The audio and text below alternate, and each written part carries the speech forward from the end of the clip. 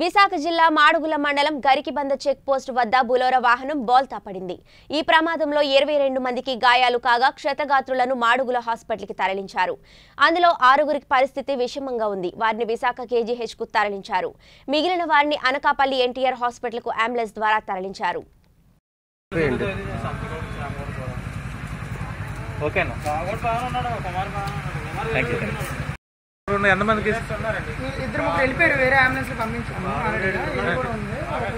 Injury అయింది అనమాట ఎంతమంది ఉన్నారు మొత్తం? రెండు అంబులెన్స్లు పంపించారు దగ్గర దగ్గర ఉన్నారు. అందరికి మన అంబులెన్స్లోనే తీసుకెళ్ళడం అయింది. పాడేరు అంబులెన్స్. పాడేరు అంబులెన్స్? పాడేరు నుంచి కూడా మరి ఇక్కడ రెండు మూడు కోవిడ్ బళ్ళు ఉండబట్టి దీన్ని మళ్ళీ రికవర్ చేసి ఇక్కడికి తీసుకొచ్చాం ఓకే ఓకే. ఓకేనా ఓకే